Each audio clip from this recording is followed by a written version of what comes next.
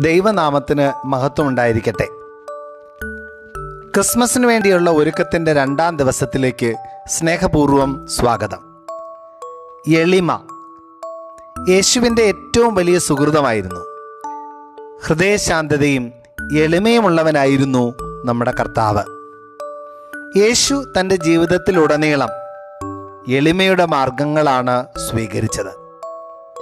ദൈവപുത്രൻ എന്ന സ്ഥാനം പരിഗണിക്കാതെ ഭൂമിയിലേക്ക് ഇറങ്ങി വരികയാണ്.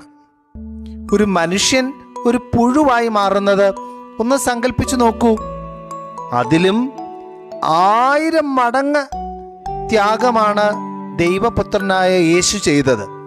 ഈ പ്രപഞ്ചത്തെ മുഴുവൻ അങ്കുലി ചലനങ്ങൾ കൊണ്ട് നിയന്ത്രിക്കുന്ന കരുണാമയൻ ഒരു ശിശുവായി ജനിക്കുന്നു. അമ്മയുടെ പാൽ കുടിച്ച് വളരുന്നു. സാധാരണക്കാരായ മനുഷ്യരായ നമ്മളെ എല്ലാവരെയും പോലെ ഈ ഭൂമിയിൽ ജീവിക്കുന്നു. എളിമയുടെ വലിയ മാതൃക കാണിച്ചു തന്ന നമ്മുടെ കർത്താവിന്റെ ആ വലിയ സുഹൃതം എളിമയെന്ന ആ പുണ്യം നമുക്കും നമ്മുടെ ജീവിതത്തിൽ പ്രാവർത്തികമാക്കാം. നമ്മുടെ ഉള്ളിൽ ക്രിസ്തു രൂപപ്പെടട്ടെ. നമ്മുടെ ഉള്ളിൽ ക്രിസ്തുവിന്റെ എളിമയും രൂപപ്പെടട്ടെ. യേശുവിന്റെ അമ്മയായ പരിശുദ്ധ കന്യകാ മറിയമാണ് ഈ ഭൂമിയിൽ ജനിച്ച മനുഷ്യരിൽ വെച്ച് ഏറ്റവും ഭാഗ്യപ്പെട്ട വ്യക്തി. ദൈവകൃപ നിറഞ്ഞവൾ. ദൈവകൃപ നിറഞ്ഞ മറിയത്തെ മാത്രമേ നാം കാണുന്നുള്ളൂ. നമ്മുടെ ഉള്ളിലും ദൈവകൃപയുണ്ട്. എന്നാൽ ദൈവകൃപ നിറഞ്ഞിട്ടില്ല. മറിയത്തിന്റെ ഉള്ളിൽ ദൈവകൃപ നിറഞ്ഞിരിക്കുന്നു. ഇതാ ഞാൻ കർത്താവിന്റെ ദാസി എന്ന് പറഞ്ഞുകൊണ്ടാണ് മറിയം തന്റെ ദൈവവിളി സ്വീകരിക്കുന്നത് ദൗത്യം സ്വീകരിക്കുന്നത്. അവിടുന്ന് എളിയവരെ ഉയർത്തി എന്ന് മറിയം പറയുന്നു.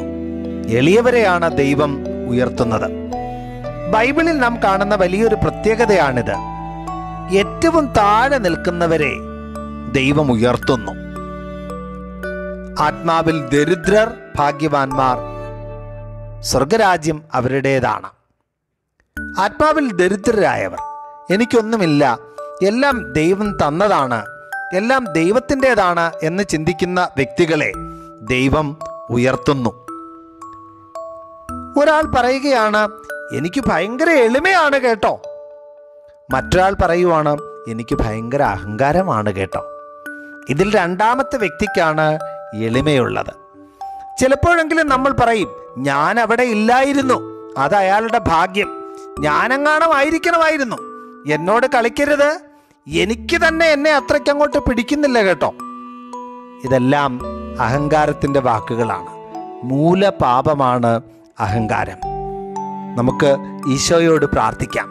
ഹൃദയശാന്തതയും എളിമയുമുള്ളവനായ ഈശോയെ എളിമയോടുകൂടെ ജീവിക്കുവാൻ അങ്ങയുടെ മക്കളായ ഞങ്ങളെ അഭ്യസിപ്പിക്കണമേ.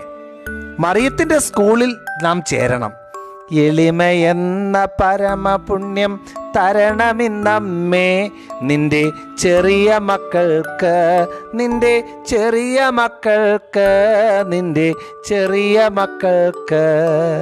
അമ്മേ മാതാവേ ഞങ്ങളുടെ പൊന്നോമനയായ ഈശോയുടെ അമ്മേ അമ്മയുടെ എളിമ എന്ന പുണ്യം ഞങ്ങൾക്ക് ലഭിക്കാൻ അമ്മ അമ്മയുടെ തിരുക്കുമാരനോട് പ്രാർത്ഥിക്കണമേ. കർത്തവായ യേശുമിശിഹ കൂടെ ഇരിക്കട്ടെ. ഈശോയുടെ കരങ്ങൾ മുറുകെ പിടിച്ച് എളിമയോടുകൂടെ നമുക്ക് ജീവിക്കാം. ഈശോയ്ക്ക് സ്തുതിയും സ്തോത്രവും മഹത്വവും ആരാധനയും ഉണ്ടായിരിക്കട്ടെ. സ്നേഹപൂർവം പ്രാർത്ഥനയോടെ ഡോക്ടർ ജോജു ജോൺ.